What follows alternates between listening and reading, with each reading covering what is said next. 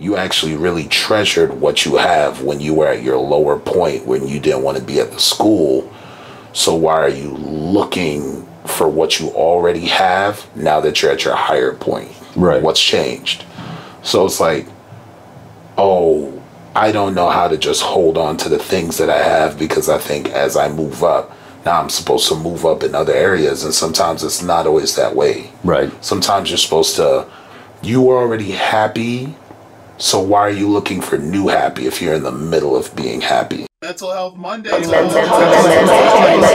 Monday. Mental Health Monday. So, a hundred percent in relationships, and I and I've definitely learned. You know, I you go on Bumble or you go on Hinge, and everyone says what's the most important part in a relationship, and everyone says communication. Well, I agree. However, Yeah. I think it falls under effort. I Okay. think effort to me, and I've learned this the hard way because mm-hmm. with Lily, my ex girlfriend that I was with for five years, I didn't put in the effort that I should have. And so every day, every time mm-hmm. that I meet a new woman and I think there's potential there, I work on showing that effort. Now, that's the rare example. Mm-hmm. A lot of the other times, learning from failure, I just dwell, I, I ruminate on the failure. Mm. And I don't know, I'm not good at finding a way to necessarily learn from it. In relationships, I have learned. Yeah. So I asked this question because, like, I'm a really good fuck up. right? And when I say that, I mean, like, in a lot of my relationships, I could. I could pinpoint the moment that the relationship was over in most of mm-hmm. my relationships, right? But there's always a correlation of I stopped working. But what's important isn't always whether you're working or not. What's important is how are you applying that work in the relationship that you're in and why do you stop the quality of work? Because sometimes people don't want you to work too hard.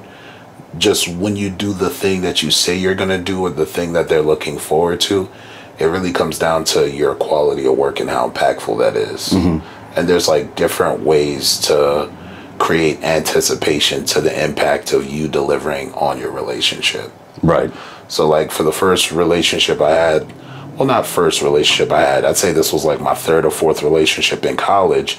I remember getting very cozy in that relationship and thinking, I'm the man. I got it together football wise, had 55 tackles that year, going back and forth between Philly and DC. Half my tackles were wide receivers as a defensive tackle. Damn. And half of those tackles were usually 15 to 20 yards up the field. So that means I was not only moving weight in terms of being strong, but I was really covering field. And I started looking around at what I wasn't doing because the school that I went to, I didn't really mess with anybody there, sexual wise or anything else. I always like did stuff with people outside of it. And I was like, oh, I need to start exploring other options. And it's like, why? You, you're happy in what you have. You, you actually really treasured what you have when you were at your lower point when you didn't want to be at the school. So why are you looking for what you already have now that you're at your higher point? Right. What's changed? So it's like, oh, I don't know how to just hold on to the things that I have because I think as I move up, now I'm supposed to move up in other areas. And sometimes it's not always that way. Right. Sometimes you're supposed to, you were already happy. So why are you looking for new happy if you're in the middle of being happy? I had a guy once tell me, particularly when it comes to relationships, and this spoke to me, he goes, Don't leave fun to find fun. If you're, if you are, mm-hmm. you know, and so it's like I, I take that into account.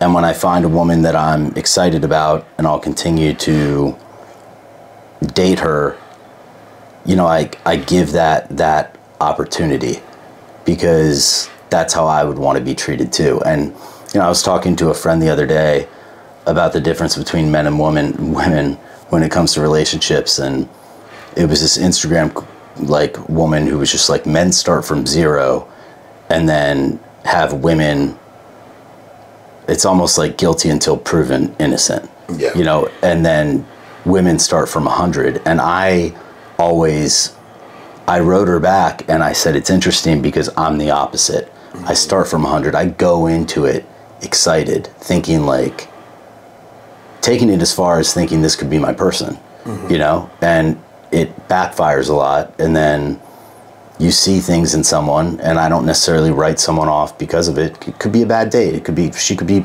nervous. She could be any of these things. It's not fair to do Yeah. that. But I start and go into those things. I clearly don't know what it takes to be at 41 years old to make the relationship work perfectly, but I damn sure know how to make it not work. And not putting in that effort Yeah. is, you know, and it's like, doesn't mean I'm overbearing. It just means that, you know, and, and for the right woman, that works, that's worked out well. I've had a few good relationships since then that mm-hmm. fell apart for one reason or another. Yeah. But putting in that effort is is what I learned. So, for the second relationship after that last one that I talked about, what made it not work was I stopped being a man of my word.